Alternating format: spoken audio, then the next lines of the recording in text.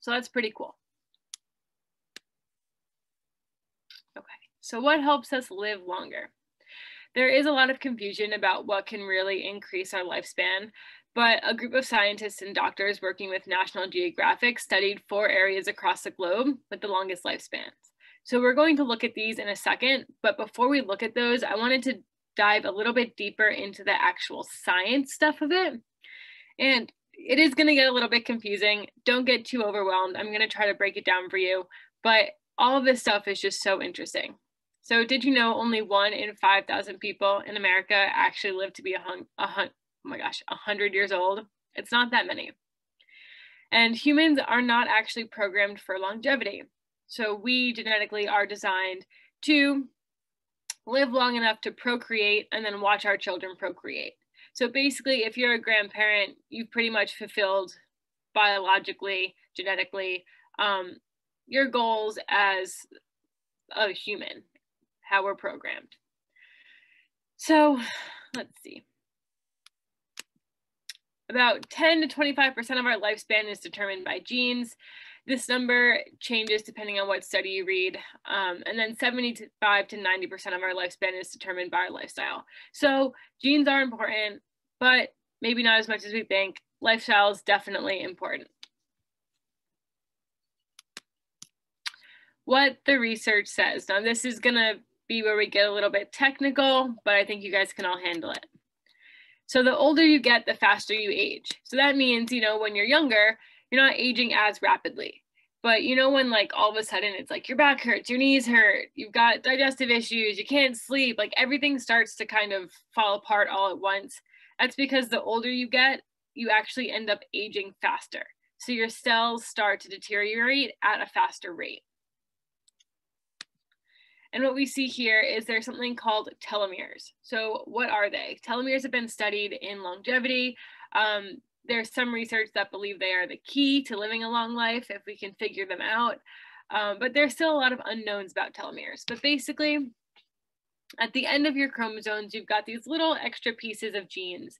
And these don't code for anything. It's not, it doesn't tell your body anything to do, doesn't tell if you've got blonde hair, brown hair, blue eyes, or green eyes. It doesn't give you any information.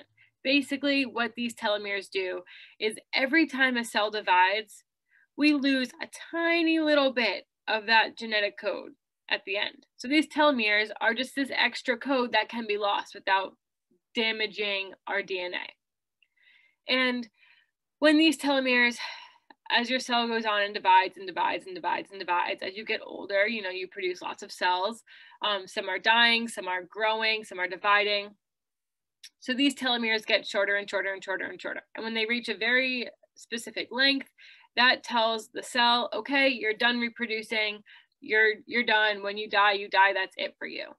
And this is important, we need them because that prevents us, our cells from just growing like crazy. Which if you think about cancer, that's what happens. What happens is these cells don't stop dividing, they keep going, keep going, keep going, and then you get a tumor.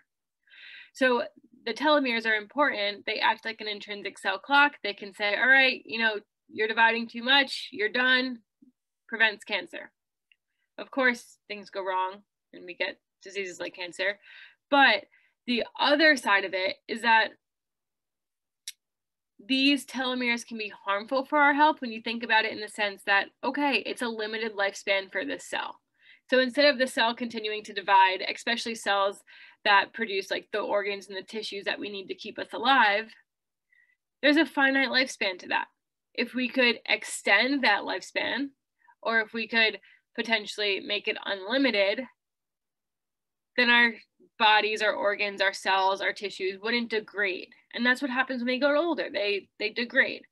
So that's why the research is looking at these telomeres as potentially the key to longevity. But it's not the only key. we also get into the mitochondria. So if you remember from middle school or high school, the mitochondria is the powerhouse of the cell. It converts all the food we eat, all the air we breathe into this ATP energy, which is then used by our bodies. So as the mitochondria, as we get older, as they continue to produce ATP, their function actually declines. the mitochondria themselves, as they produce ATP, end up producing other byproducts. And those compounds can be damaging, like hydrogen peroxide. Um, it can be damaging to the mitochondria and it can be damaging to some of our cells. So this actually ends up inhibiting some of their energy production over time. And when that production of ATP, the mitochondria isn't functioning optimally, so that production of ATP is decreased, it ends up starving the rest of our cells and our organs and our tissues of the energy that they need to survive. So another key to longevity is looking at this mitochondria and seeing, all right, what can we do to prevent it from being hurt? And how can we extend the lifespan of these mitochondria? So that's it for the super sciencey stuff. so even though genes only contribute to 10 to 25% of our, you know, longevity lifespan, they do make a difference. And then we've got this question of nature versus nurture. So your genes versus the environment. Your genetic code is not something that you can choose. You know, you're born from your parents, you get half your mom, half your dad, comes together, it's kind of a crapshoot. We don't really know what's going to happen. You might get certain traits from your mom, certain traits from your dad, and that's how your genetic code is. It's laid out. But what you can do is you can influence how specific genes are expressed and whether or not they get activated. So your genetic predisposition only counts for so much of the blame. You know, some people will say, well, my parents have high blood pressure, so I'm I have high blood pressure. It is what it is. That's not necessarily true. Certain genes can be activated by your environmental exposures. So, for example, if you have a gene for heart disease, your parents had heart disease, maybe your grandparents had heart disease, and you decide to eat the same foods that your parents grew up eating, your grandparents grew up eating. Maybe it's a diet that's higher in inflammatory fats or high in sugar, or you're a steak and potatoes type of guy or girl. Well, then there's a good chance that you're going to activate those genes and it's going to increase your risk of getting heart disease. However, if you decide, I don't want heart disease, I'm going to break the cycle, I'm going to exercise, I'm not going to smoke, I'm going to eat a super healthy diet, lots of plants, um, basically the opposite of what I grew up on, there's a good chance that you might not get heart disease. So you can kind of change how that gene gets expressed by the way that you eat, your lifestyle habits, and things like that. So, what can we do? Whoops. Where is it? There we go. what can we do to increase our longevity? What can you as a human being do? Because telomeres and mitochondria, that yeah, that's really interesting, but it doesn't give us any insight on what we can do as humans to increase our lifespan. So this group of scientists that I mentioned earlier that worked with National Geographic, they traveled around the world and they researched the areas of the world where people had um, the most concentration of centenarians. So the people who are living the longest, and not just one person here and there, but where is it concentrated that these people are living a really, really, really long time? And they came up with the blue zones. So the first is in Okinawa, Japan. We have Sardinia, Italy. Nicoya, Costa Rica, Loma Linda, California, and Icaria, Greece. So these are the places that they found had the highest number of centenarians. In Okinawa, they had the oldest females.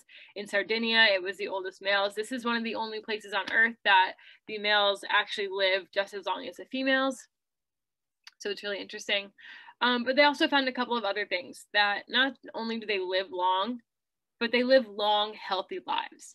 So these people are most likely um, to live a really long, healthy life, li- life, excuse me, and die in their sleep. So they're not dying of all of these health issues. They're not spending time in the hospital. They're not having huge medical bills. They're really living these long, healthy lives, which is pretty cool. So, what these researchers found looking at these um, blue zones was that there was nine similar qualities in each of these zones that all of these people kind of um, adopted, these different habits. So we're going to go deeply into each one of these, but basically they're called the Power Nine, and it's moving naturally, having a purpose, downshifting, the 80% rule, a plant slant, wine at five, belonging, loved ones first, and finding your right tribe. So when I looked at these Power Nine, and there's been more studies done that have done um, more about specifically on diet versus specifically on lifestyle, but this was kind of the first general broad um, what do all of these places have in common? And I was surprised to notice there's really not that much that has to do with food and exercise. A lot of it has to do with more social constructs, which is pretty cool because those are things we can change pretty easily, in my opinion. But look, thinking about that and thinking about the research, is that because food doesn't matter, exercise doesn't matter? Probably not. It's probably more just related to how the study was actually conducted. Um, and then it's also really hard to compare diets. Think about what you would have to do as a researcher to compare diets. You would be, you know, having to have everyone write down everything that they eat for a number of years and then analyzing all that data. It's a lot. It's a lot to do, and it's probably too much um, for the scope of this study. So we don't see a lot of nutrition and exercise recommendations here, but we're gonna go through them. So the first one is to move naturally. And what they found was that a lot of the people in these blue zones didn't actually exercise, not in the way that we typically think of exercise. They weren't going to the gym, they weren't going to CrossFit, they weren't running marathons, things like that. But they do remain active throughout their entire lives. So they actually live in environments that constantly nudge them or require them to move without really thinking about it.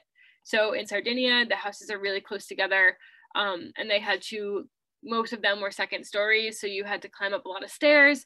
They didn't have a lot of, um, a lot of them didn't really drive. They didn't have cars. So they were walking to and from the grocery store, carrying their groceries all the way up the stairs. In Japan, the um, they sit on the floor. So everyone was having to sit and get up from the floor multiple times 30 40 times a day uh, the, there's also um, a big stressor on like having gardens and really growing your own garden and not having the modern um, conveniences of like all those electronic tools they're doing more of like the sowing it themselves and plowing themselves and doing all that stuff same thing with the yard work and the housework. They're doing the raking. They're not using the leaf blowers.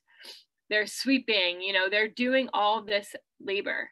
Even when it comes down to the kitchen, when they're cooking, they are mixing the food. They're not putting it in an electric mixer. So they're doing things a little bit old school, and that causes them to move more. For the Loma Linda, California population, um, that is that has a high concentration of Seventh Day Adventist, Adventists, and um, they in their religion go for a nature walk every single week. So that was built into their religion. So you can see they're not doing exercise in the way that we typically would think of exercise, but they are moving and they're moving their bodies naturally.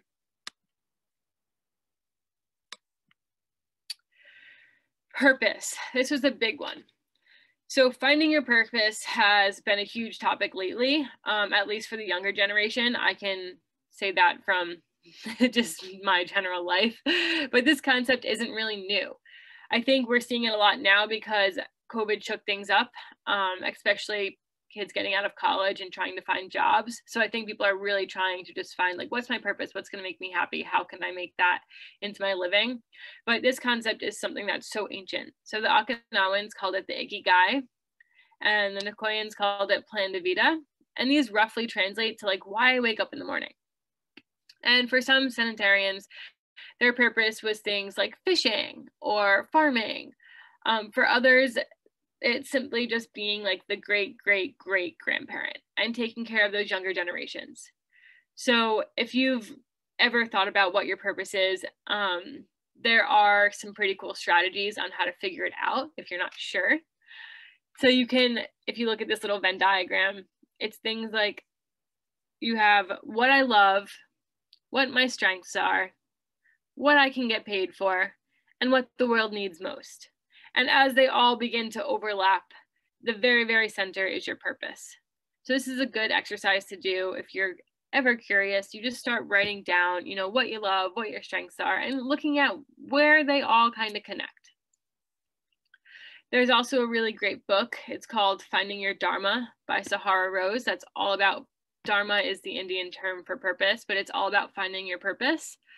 Um, and it's great. It helps you. It, they have meditations and other exercises that you can do if you're curious about what your purpose is. And if you feel like you haven't been living it, or maybe you feel like you have been living it, and that's great. So, downshift. Everyone experiences stress at some point in their life. Even the people in the blue zones, they still have got some stress.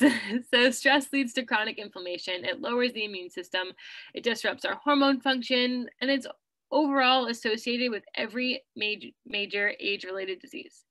So, stress is a huge issue, and chronic stress is an even bigger issue. So, all of the blue zones had routines or rituals to help reduce this stress. Many of us might have some type of stress relieving activity as well, but I think the big difference is that these the people in the blue zones practice it regularly. So whether it's the people in Loma Linda who are taking walks at least once a week, or it's um, the Sardinians, they do happy hour, and um, let's see, the Okinawans, they pray, they take a few moments each day to remember their ancestors. So it's things like that. But whether they're doing it every day or once a week, it's routine. It happens. You don't skip it because things come up. It's what they do. And I think that's the big difference that we see. Next is the 80% rule. So I actually learned this when I was in college and I was so fascinated by it. I thought it was the coolest thing ever. But it's a there is an Okinawan term called hara hibachi bu. And basically it translates like roughly to eat until you're 80% full. But this is a 2,500 year old Confucian mantra. So it has been around for a very long time. And what the Okinawans do is before they sit down for a meal, they all chant hara hibachi bu, so that it reminds them to stop eating when their stomachs are 80% full. If you remember, um, I think I was taught this in like middle school, but your stomach takes time to catch up to your brain, or your brain takes time to catch up to your stomach. So as you're eating and you're eating, it tastes so good, you're eating pretty fast. Next thing you know, you've eaten this huge bowl of whatever it is, and you feel stuffed. You are so full. That's because your brain takes a little bit to register that you're actually full. So when you keep eating, now you've just piled it on top, and now you're to that point where you feel like you're going to burst. So eating till you're 80% full gives your brain that time to kind of catch up because you'll realize that you probably don't need anymore. They also, the people in the blue zones also have um, some like tricks to help prevent overeating a lot of times they eat their smallest meal late in the afternoon or in the early evening and they don't eat for the rest of the day. So their biggest meal will be like that midday meal or in the morning. And then dinner, which is typically American style, the biggest meal, will be a lot smaller and it's not late at night. They also use things like smaller plates um, to prevent piling all this food on. And they make their plates away from the table, put the food away, and then go sit down at the table and eat.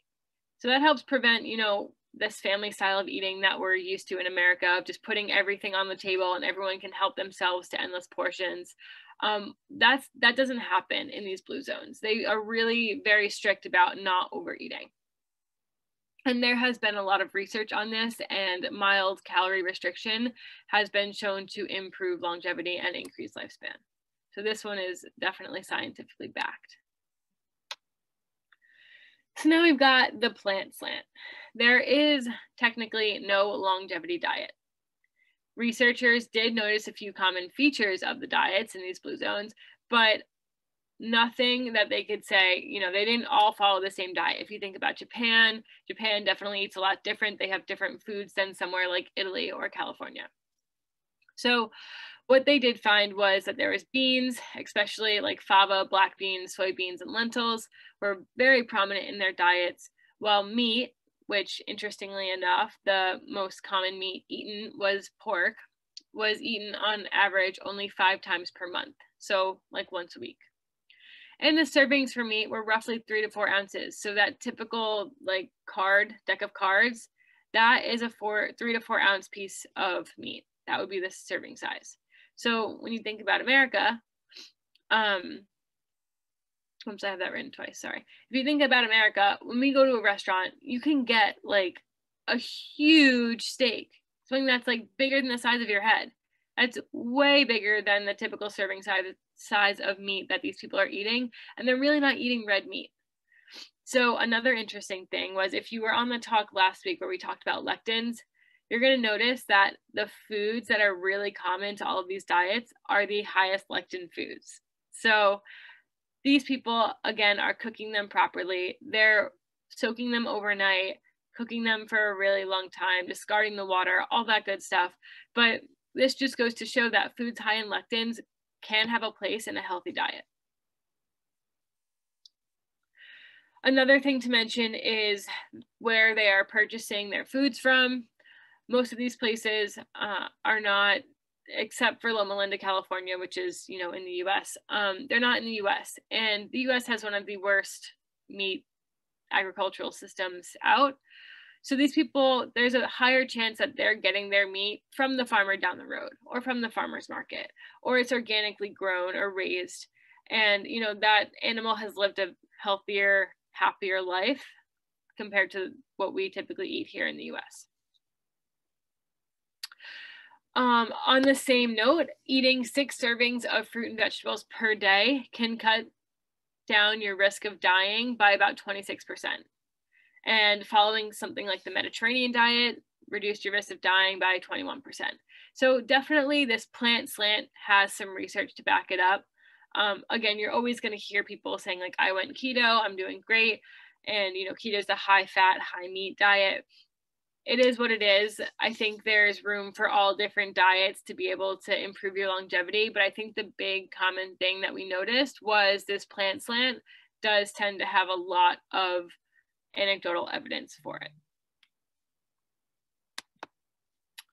Next one is wine at five. So a lot of people living in the blue zones, except for um, the Loma Linda, California population because they don't drink, um, drank alcohol, alcohol moderately and regularly. So in Sardinia, they drink a special type of wine. It has the highest concentration of polyphenols than any other wine. And polyphenols are good things. We want them. They're antioxidants. Um, studies have shown consistently that moderate drinkers outlive non-drinkers. And the moderate drinking, moderate drinking consists of one glass a day for females and one to two glasses for males. So the best thing to drink is red wine because it does have those polyphenols. It has some resveratrol. Um, some wines are definitely better than others. Organic wine is going to be the best option. Um, people like to, a lot of times in Sardinia, um, and Italy in general, people will make their own wines. So it's not just your conventional wine that you buy at the store. We're looking for something that's got some health benefits to it. And unfortunately, saving up all week and having 14 drinks in a Saturday does not have the same benefits as drinking one drink every day. So that binge drinking is very detrimental to your health, whereas one glass a day that regular moderate drinking actually benefits your health. And what they found too was that these people are not drinking alone. Um, they're not drinking to cope with stressors. What they're doing is they're using it as a social event. They're drinking with their friends, they're drinking with family, they've got food around. It's more of like a positive experience um, compared to what drinking can be, which is more of like a coping me- mechanism belong.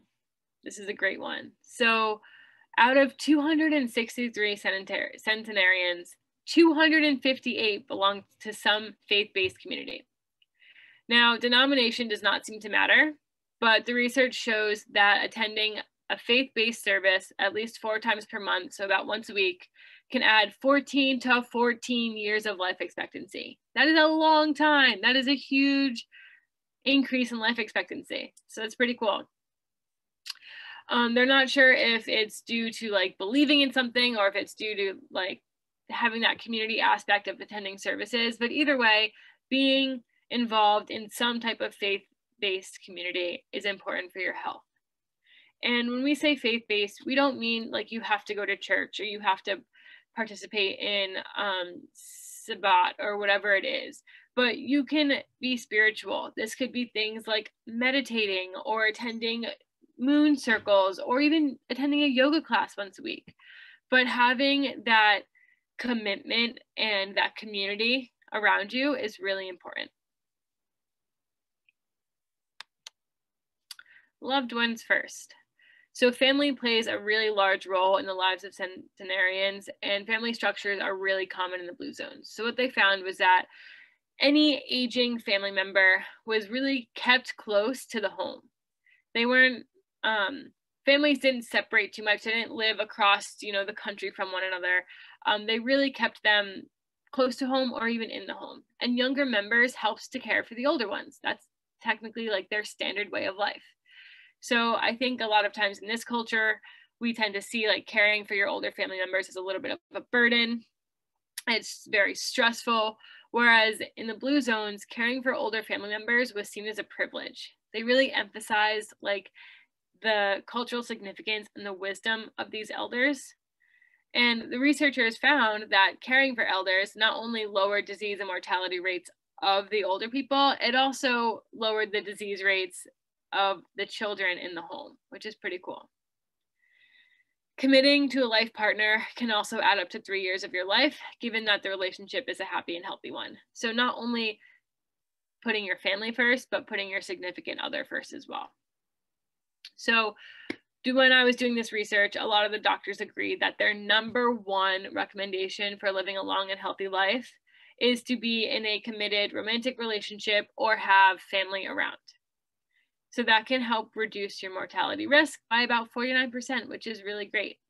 And then also, we found that a good marriage can help to stave off diseases like cancer, diabetes, heart disease, and the flu. The science behind it is that it calms our stress response.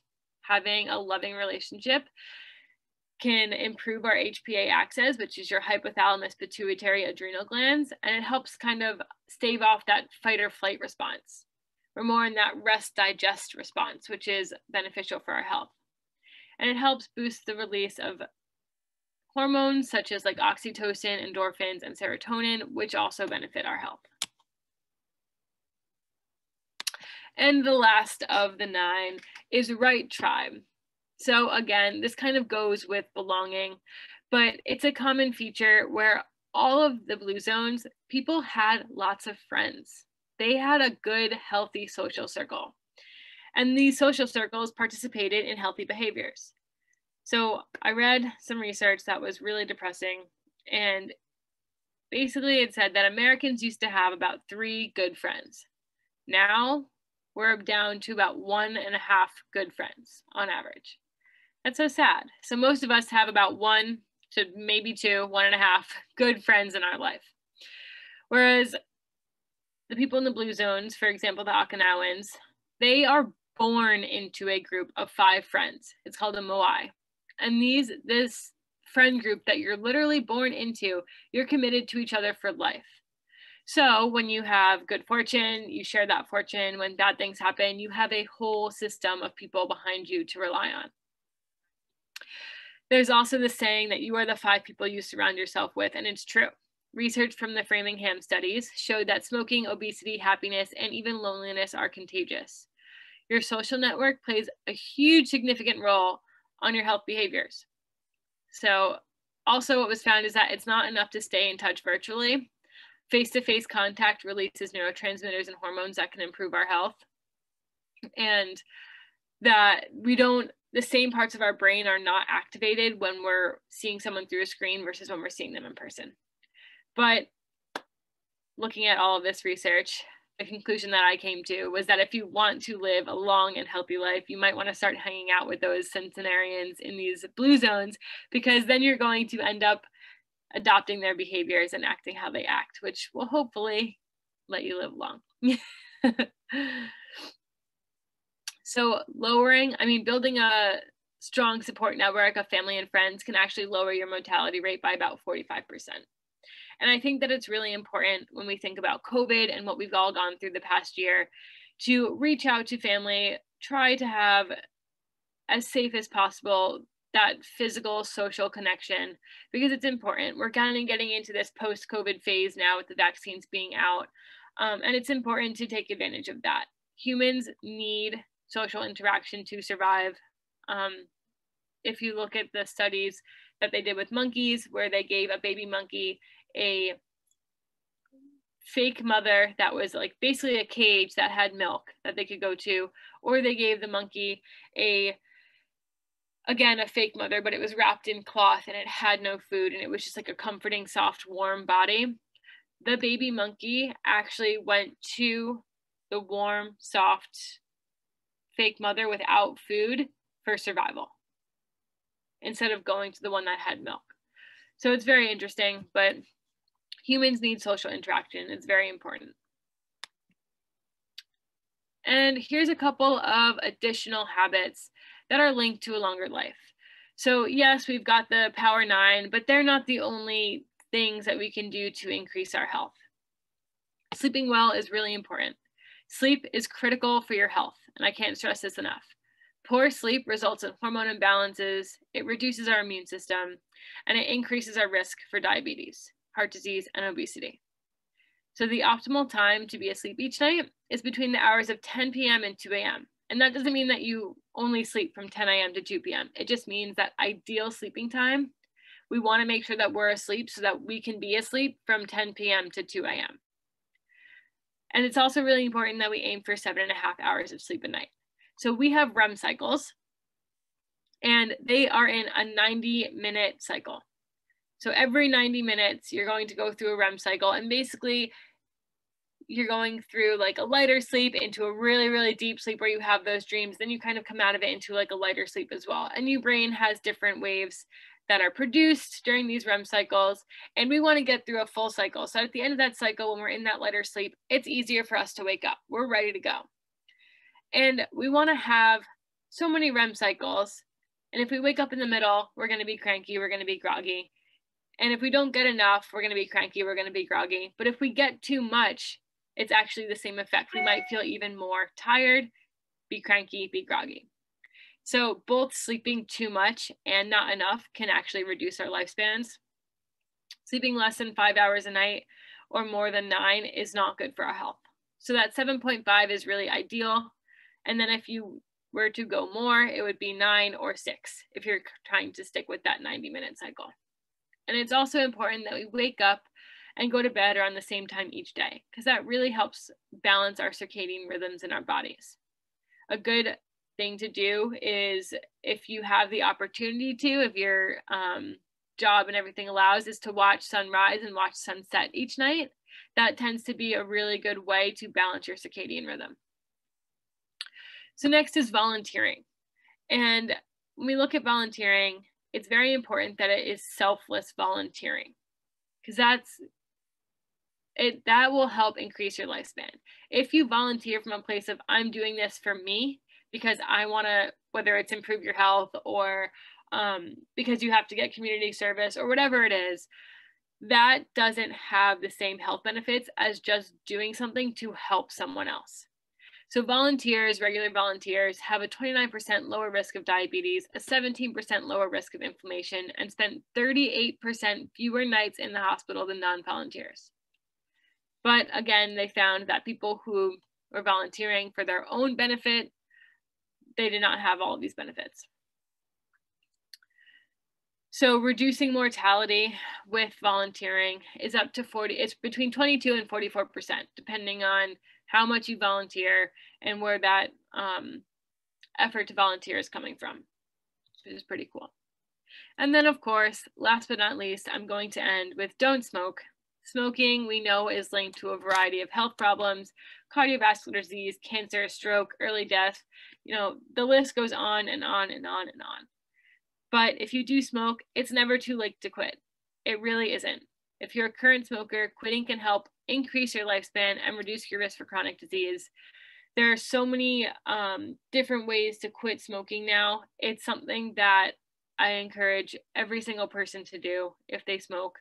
Even the Juuls or the electronic cigarettes, those are not good for our health. They mess with your blood sugar regulation and can result in diabetes and things like that. So it's really important to make sure that if you want to prolong your lifespan, we're doing all the things that we can to not cut our life short at the very least, if that makes sense. So now looking at this presentation, what areas of your life can you improve to increase your longevity? If anyone would like to ask any questions or has anything to um, comment on, feel free. But thank you guys for listening.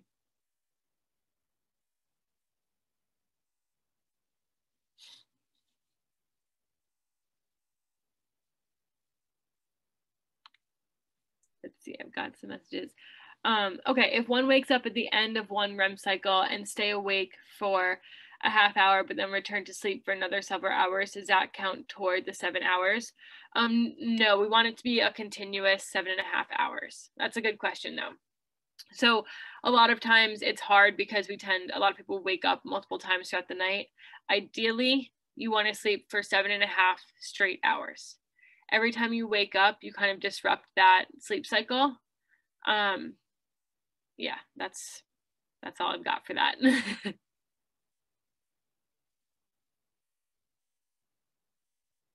Does anyone else have any good questions?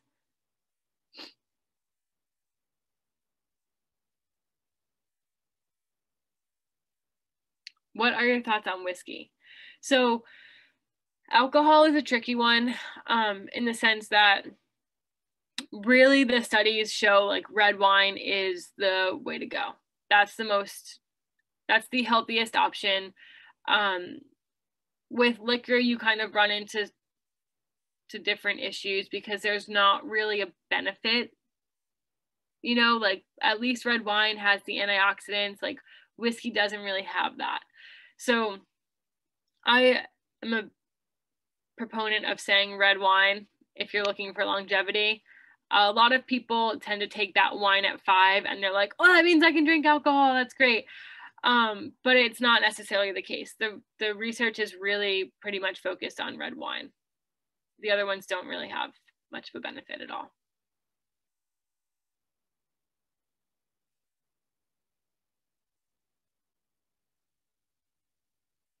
Does anyone else have a question?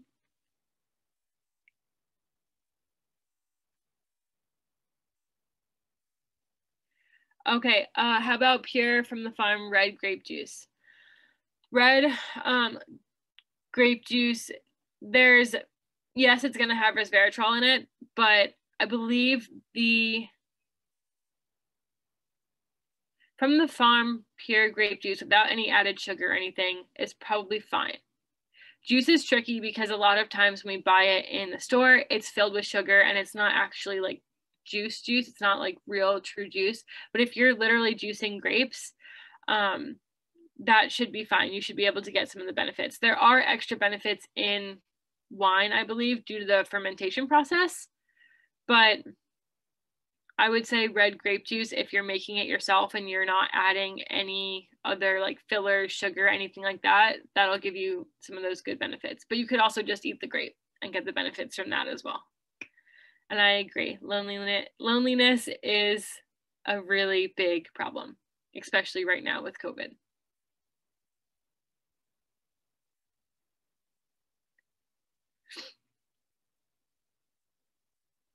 Cool. Well, if anybody else wants to ask anything, you can. But if not, thank you all for listening. I really appreciate it. If you have any questions that I didn't get to answer, you can email me or you can message me on Instagram and I will definitely get back to you. Thank you so much, Dana. Thank you for being here. Um, and thank you, everyone um, who came to the program today. We really appreciate it. Thanks, guys. Have a great day, everyone. Thank you.